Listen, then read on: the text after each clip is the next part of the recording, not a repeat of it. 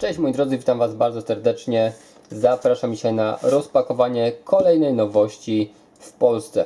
Nowość na rynku dla graczy. Mamy nową firmę Aorus. Z tego co wiem jest to jakiś odłam firmy Gigabyte, ale mniejsza z tym. Mamy zupełnie nową markę, sprzęt typowo dla graczy. W tej chwili w swojej ofercie Aorus nie ma jeszcze co prawda zbyt wielu sprzętów do wyboru. Jest tam jakaś podkładka, klawiatura i ta myszka. Myszka nazywa się Thunder M7 i dedykowana jest generalnie do gier MMO.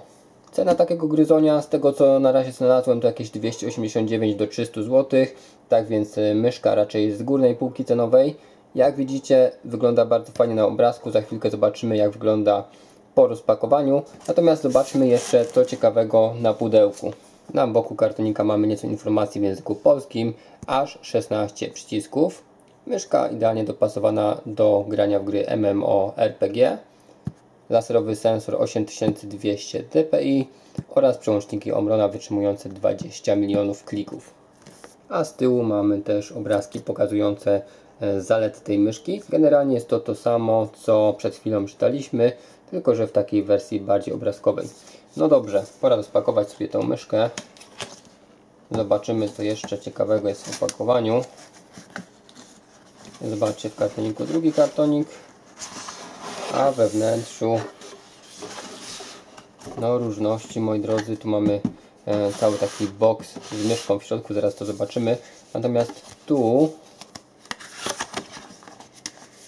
są pewnie sterowniki instrukcja. Dobra jest sama instrukcja i o proszę bardzo i dodatkowe ściskacze wymienne. Bardzo fajnie, że producent daje je na starcie, ale w sumie za taką cenę powinny być a więc bardzo fajnie. Instrukcja od tej myszki. Mamy podstawowe funkcje przycisków, podłączenie do komputera i informacje o przełączniku DPI oraz profilach myszki. Też mamy troszeczkę o oprogramowaniu.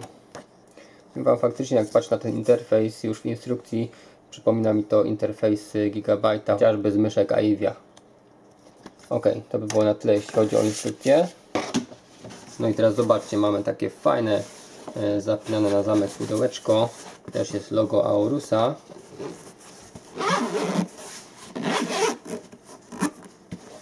A w tym pudełku, moi drodzy, myszka Thunder M7.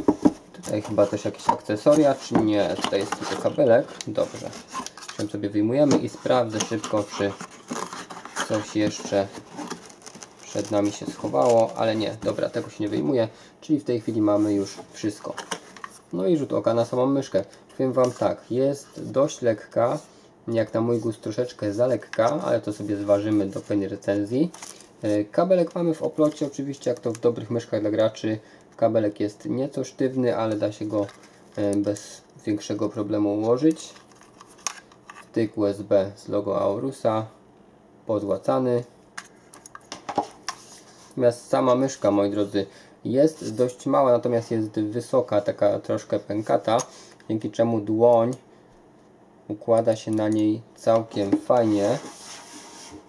Powiem Wam, że jest nieźle wyprofilowana, ponieważ dobrze ta dłoń się wpasowuje mm, na powierzchnię tej myszki. Mamy też podparcie dla kciuka oraz dla palca serdecznego. No, jak na moją dłoń, to ta myszka mogłaby być dłuższa, ponieważ palce mi troszeczkę wystają poza przyciski główne. Natomiast y, zobaczymy oczywiście jak to będzie przy dłuższym użytkowaniu. Jeśli chodzi o jakość wykonania, powiem Wam, że jak na te prawie 300 zł, no to jakiejś rewelacji nie ma. Plastik jest porządny, ale nie jest jakiś super rewelacyjny. Tu mamy jakieś elementy ozdobne, pewnie będą świecić. E, tutaj widzicie w środku całą zawartość tej myszki. Wygląda to troszeczkę jak silnik. Napis Thunder. Takie okienko z plexi, które jednocześnie pełni rolę e, podpórki na palec.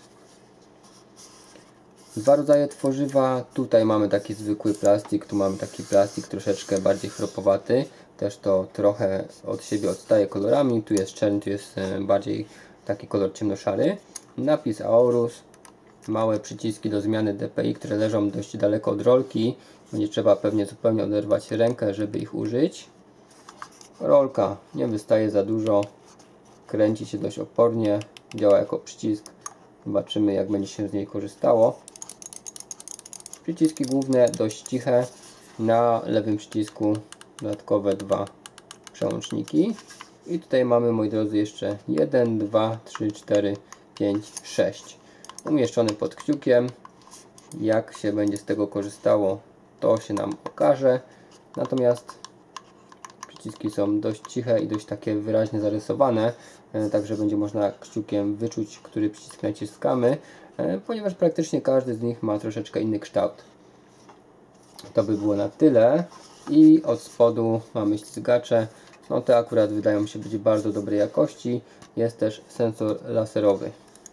No dobrze, to by było na tyle. W pełnej recenzji zobaczymy już sobie oczywiście jak ona wygląda po podłączeniu, y, jakie ma funkcje. Zobaczymy oprogramowanie oraz oczywiście będą wrażenia z gier. Dziękuję Wam dzisiaj za obejrzenie tej recenzji. Gdybyście nie mieli co oglądać, zapraszam do playlist. Tam jest naprawdę mnóstwo filmów, jakieś starsze archiwalne filmy zawsze można poglądać. Jest sporo ciekawych materiałów. Dziękuję Wam za uwagę. Pozdrawiam Was, cześć.